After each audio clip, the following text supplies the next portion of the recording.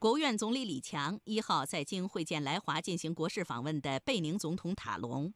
李强表示，中贝始终真诚友好，两国关系已成为发展中国家间相互尊重、平等相待的典范。相信在习近平主席和总统先生战略引领和推动下，中贝关系将迈上新台阶。中方将一如既往坚定支持贝宁走符合本国国情的发展道路，愿同贝方稳步拓展基础设施、数字信息、产业园区等领域合作，扩大人文交流，更好实现互利共赢。中方愿同贝方加强协调配合，捍卫发展中国家共同利益和国际公平正义。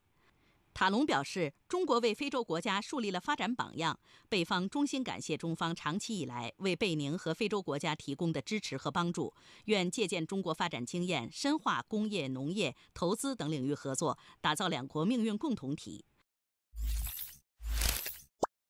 记得关注我哦。